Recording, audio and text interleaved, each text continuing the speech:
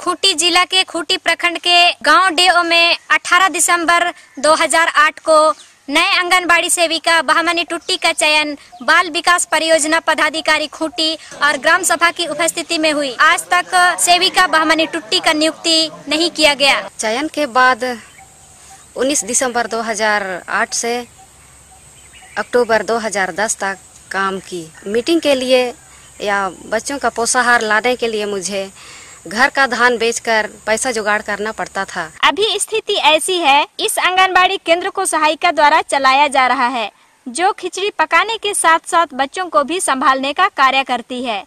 इसके साथ साथ बैठक में भी इन्हें बार बार जाना पड़ता है जिससे बच्चों का देखरेख केंद्र में सही तरीके से नहीं कर पाती है। चयन के दिन ही सीडीपीओ ने छः माह तक मानदे के लिए इंतज़ार करने के लिए बोली थी। दो साल काम करने के बावजूद भी कोई मानदेय मुझे नहीं मिला।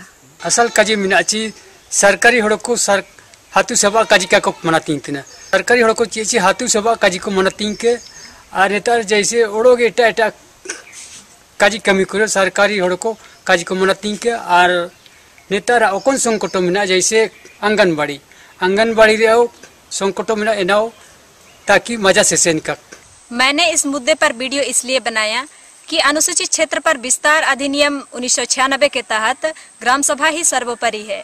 लेकिन सरकारी पदाधिकारी इस कानून का उल्लंघन कर रहे हैं। मैं खुद एक आदिवासी समाज की सदस्य हूँ। मुझे इस समाज से लगाव है। ग्राम सभा को दरकिनार करते हुए जब सरकारी पदाधिकारी इस तरह मनमाने तरीके से कार्य करते हैं तो मुझे बहुत दुख होता है। मैं अमिता, झारखंड के खूटी ज़िले से, इंडिया अनहट के लिए।